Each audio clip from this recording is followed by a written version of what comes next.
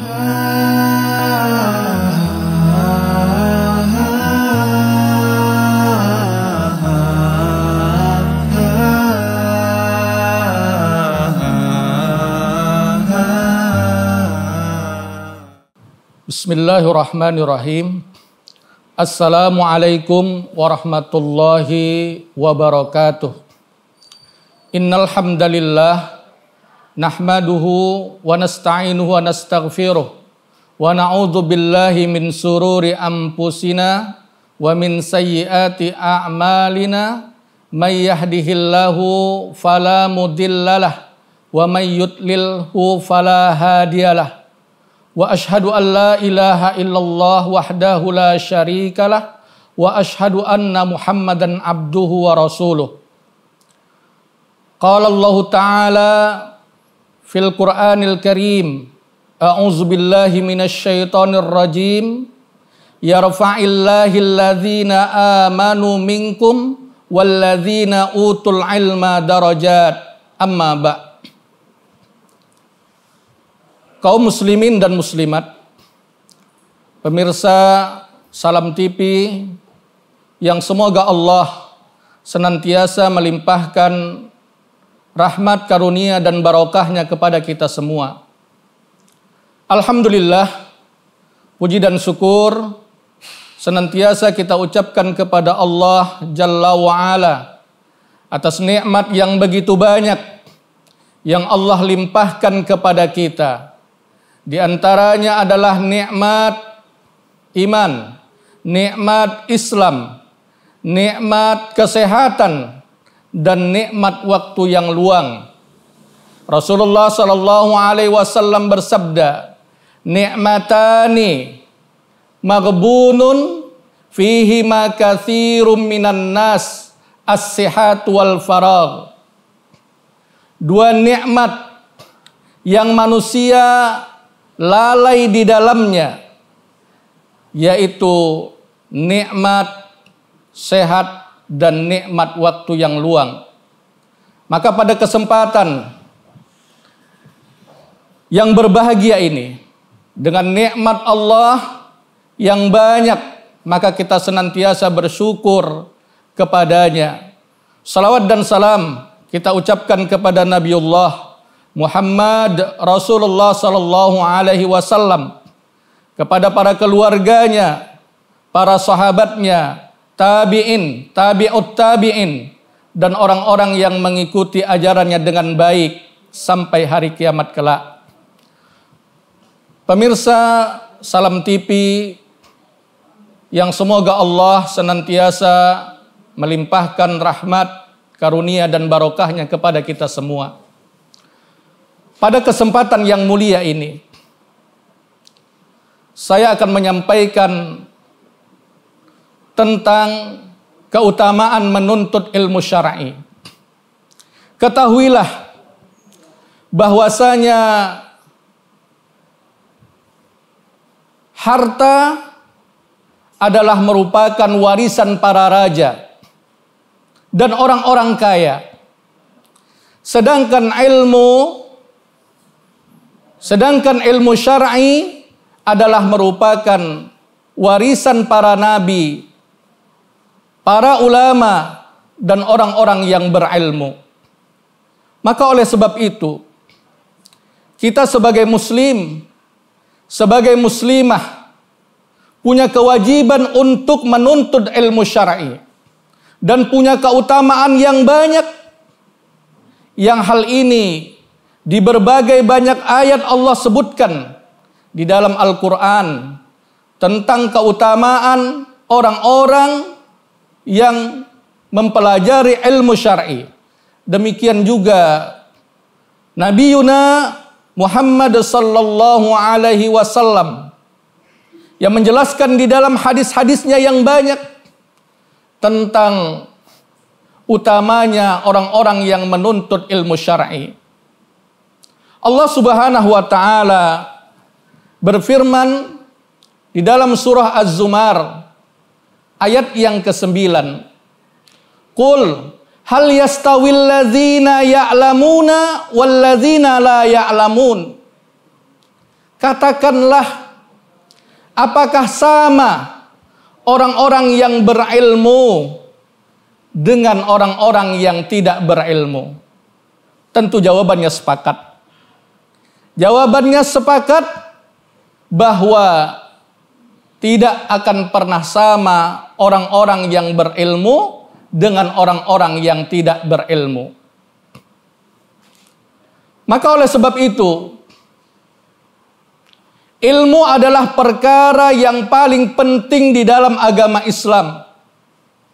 Bagaimana jika kita tidak berilmu untuk mengetahui akidah yang benar, untuk mengetahui cara berwuduk yang benar, mengetahui cara sholat yang benar, mengetahui cara berdagang yang benar, dan seterusnya. Tentunya semua didasari dengan ilmu.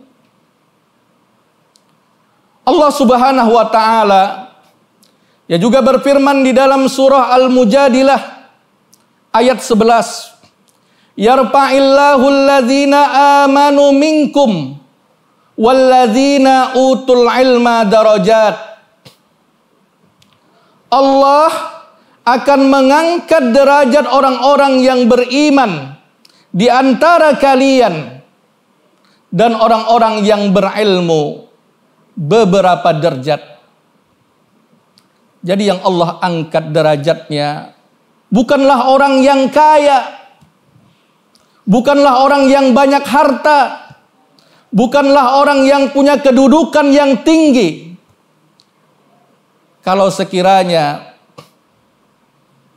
yang Allah angkat derajatnya adalah orang yang paling kaya, tentu Qarun. Ya tidak Allah hinakan. Kalaulah sekiranya yang Allah angkat derajatnya adalah orang-orang yang punya kedudukan, tentu Firaun tidaklah Allah hinakan. Karena kedudukannya. Demikian juga ya kalaulah yang Allah angkat derajatnya adalah orang yang ganteng, ya orang yang cantik. Tentulah orang-orang yang ganteng, orang-orang yang cantik akan lebih mulia di sisi Allah Subhanahu wa taala, tapi tidak demikian.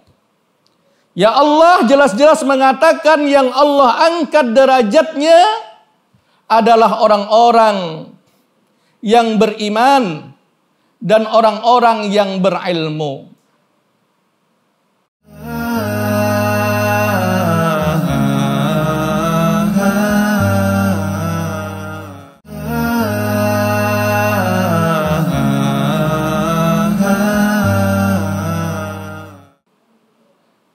Kaum muslimin, pemirsa Salam TV yang dirahmati Allah Subhanahu wa taala.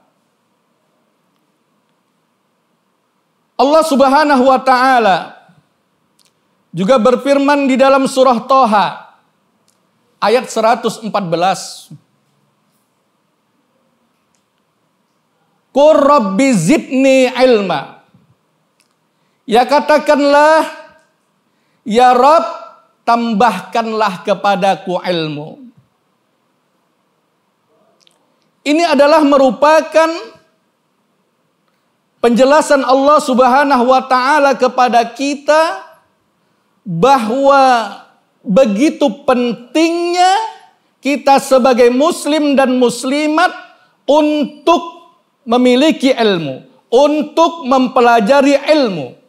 Terlebih jika yang dipelajari itu adalah ilmu syar'i dan itu hukumnya adalah wajib. Ya maka sampai Allah Subhanahu wa taala yang memerintahkan kepada para nabinya untuk memohon ya untuk meminta kepada Allah Subhanahu wa taala agar diberikan tambahan ilmu. Demikian juga dalam hadis-hadis dalam hadis yang banyak bahkan Rasulullah Shallallahu Alaihi Wasallam selalu berdoa ya kepada Allah Subhanahu Wa Taala agar diberikan ilmu, Di antaranya adalah doa yang dianjurkan kepada kita ya untuk membacanya ba'da salat subuh atau ketika zikir pagi.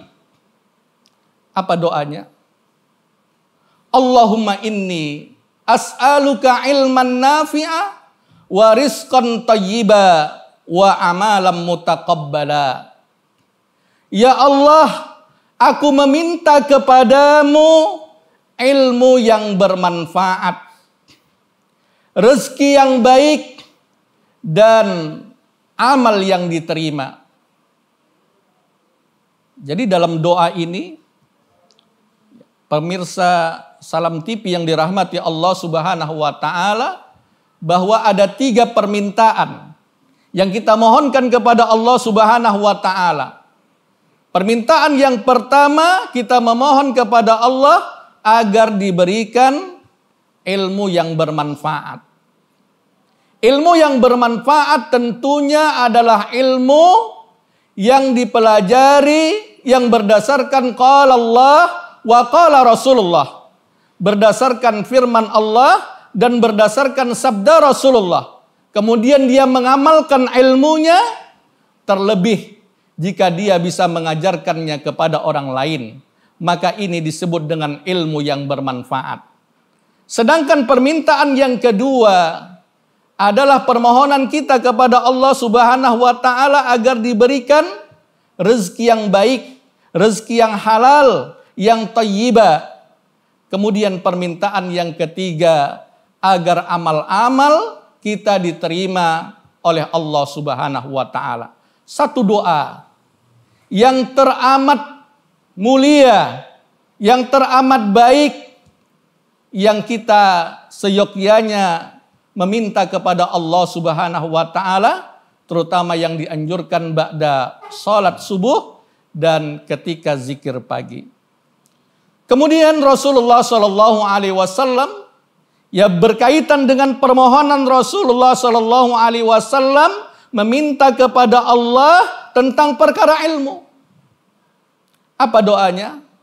Allah manfa'ni bima 'allamtani wa 'allimni ma yanfa'uni wa zidni ilma. Ya Allah, berikanlah manfaat kepadaku dari ilmu yang engkau ajarkan kepadaku.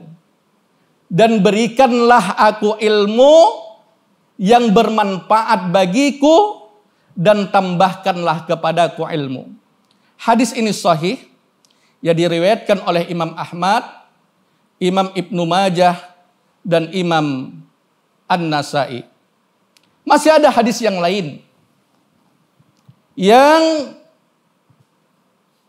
menganjurkan kita untuk memohon kepada Allah Subhanahu wa taala tentang perkara ilmu. Yaitu Doanya Allahumma inni a'udzubika min ilmin la yanfa. Ya Allah, aku berlindung kepadamu dari ilmu yang tidak bermanfaat. Wa min qalbin la yakhsha. Dan dari wa min qalbin la yakhsha dan dari hati yang tidak khusyuk. Wa min nafsin la tasba dan dari jiwa yang tidak pernah merasa puas. Wa min da'watin la yustajabu laha dan dari doa yang tidak dikabulkan. Kaum muslimin, pemirsa Salam TV yang berbahagia. Rasulullah Shallallahu Alaihi Wasallam ya juga bersabda di dalam sebuah hadisnya, "Mayuridillahu bihi khairan yupakihu fiddin."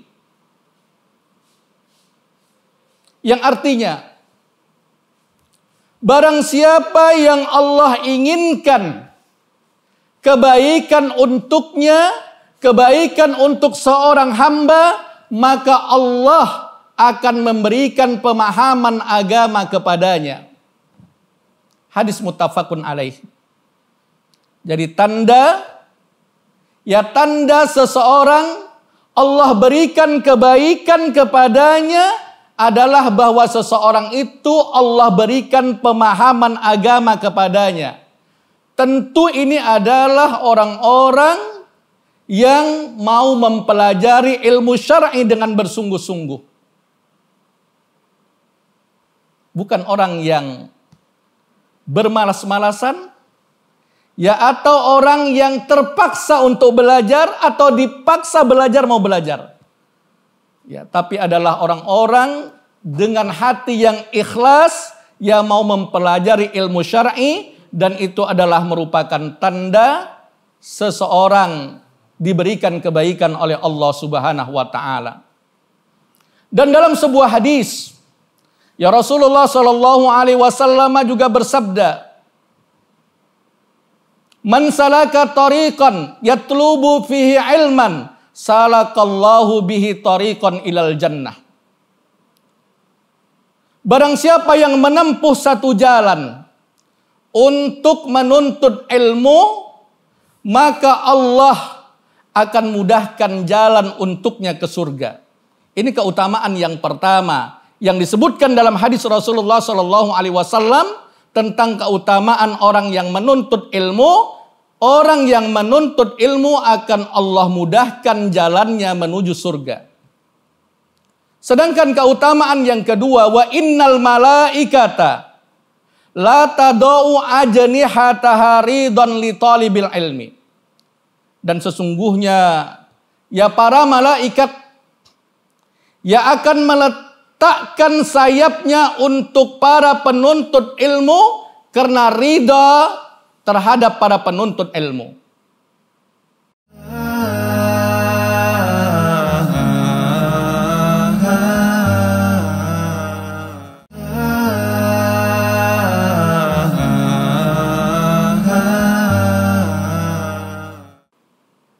Sedangkan keutamaan yang ketiga, Wa innahu la yastaghfiru lil alimi mampis samawati wal ardi hatta hitanu fil ma. Dan sesungguhnya sungguh akan dimintakan ampunan bagi orang yang alim Siapa yang memintakan ampunan? Mampis sama wati wal art. Makhluk yang ada di langit. Ya para malaikat akan memintakan ampunan untuk orang-orang yang alim. Wamam fil art. Dan makhluk yang ada di bumi. Manusia, jin dan seterusnya sampai ya sampai-sampai ikan yang berada di dasar air memintakan ampunan untuk orang yang alim. Sedangkan keutamaan yang keempat. Wapadlul alimi alal abidi kasairil qamari alal kawakib. Dan keutamaan orang yang alim dibandingkan dengan orang yang abid. Seperti keutamaan cahaya bulan dibandingkan dengan seluruh cahaya bintang. Bulan satu, ya tapi bisa menerangi bumi.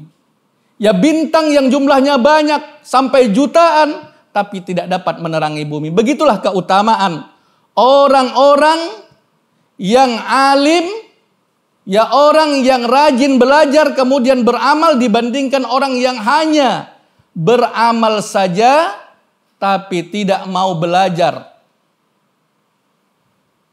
Kemudian keutamaan yang kelima. Wa innal ulama'a hum warasatul anbiya. Dan sesungguhnya para ulama itu adalah pewaris para nabi.